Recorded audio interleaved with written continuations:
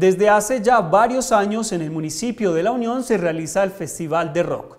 En el 2020 y debido a la pandemia, este evento cultural se innovó y realizó una producción audiovisual. La Corporación Adagio, quien lidera el Festival de Rock del municipio de La Unión, es una entidad artística, social y cultural la cual busca, a través de la cultura, generar tejido social y forjar conciencia sobre la importancia de la cultura como sector en el desarrollo social del municipio. Festival de rock llamado el 50-50 Fest, un festival que involucra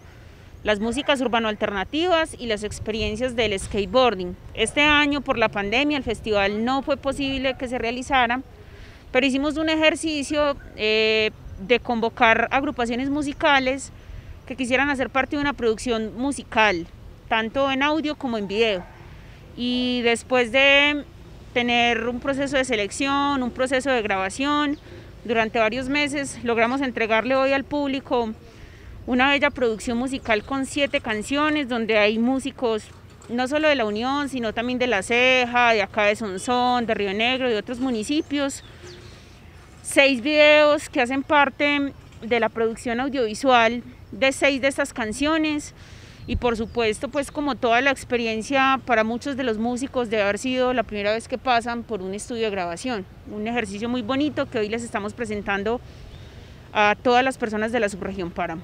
Varios sonsoneños hicieron parte de esta producción artística, desde lo musical y también desde la producción audiovisual.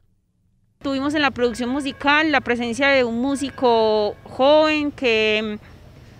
tiene un gran amor hacia la música, Juan David Marín. Él está en un proyecto eh, que mezcla el rock y el hip hop llamado MAD, el proyecto MAD. Aparece también